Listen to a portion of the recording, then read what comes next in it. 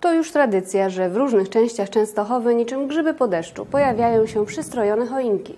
Kolejne takie drzewko w ramach akcji Jasne, że choinka pojawiło się na placu Orląt Lwowskich.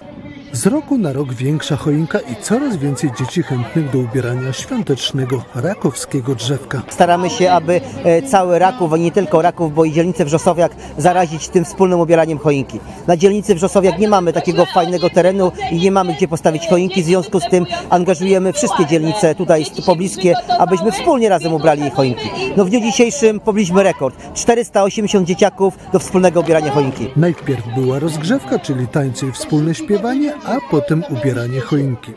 Najwyżej wspiął się poseł Zdzisław Wolski. Potem do akcji ruszyły dzieci. Co będziecie robić? ubierać choinkę. A wy macie jakieś bombki, jakieś stroiki? Mamy łańcuch.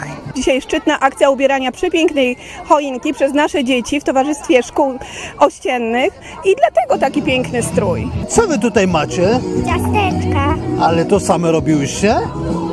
Pani Agnieszka robiła. I one mają jakieś kształty dziwne, te ciasteczka. Aniołki, choinki i, miko- i bałwanki. Wy już czujecie ten nastrój świąt Bożego Narodzenia?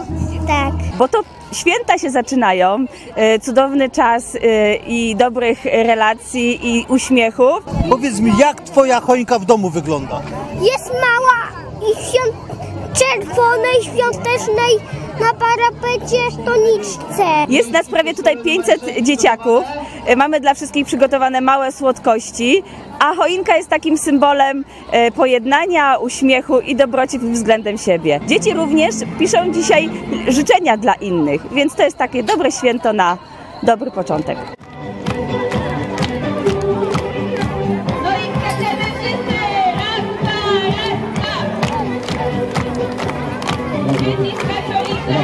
i